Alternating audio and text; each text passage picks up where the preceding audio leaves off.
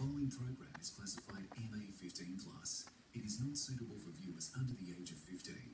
We recommend the use of the parental lock system.